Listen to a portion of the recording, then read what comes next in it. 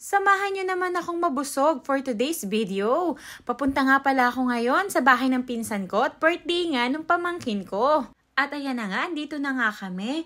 Late na nga kaming dumating kaya nagsimula na sila. Siyempre, hahanapin ko muna yung birthday boy. Inaanak ko nga rin pala itong si JM at ayan, inabot na nga ni Ninang isang milyon. Charot lang, pero tuwang-tuwa yung bata. Pumunta nga rin pala ako dito sa may kusina nila at andito pala yung isang tita ko kaya nag-bless muna ako.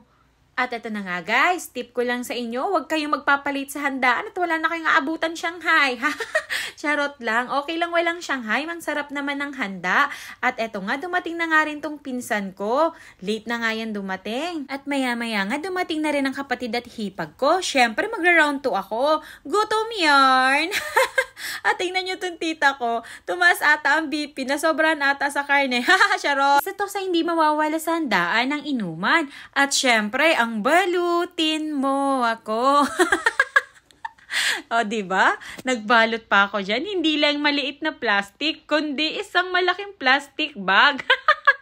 Opa, girl, kotang-kota, laki ng plastic bag mong take out. Pero dahil may take out tayo, dapat may kapalit. May dala naman ako ditong daon ng malunggay.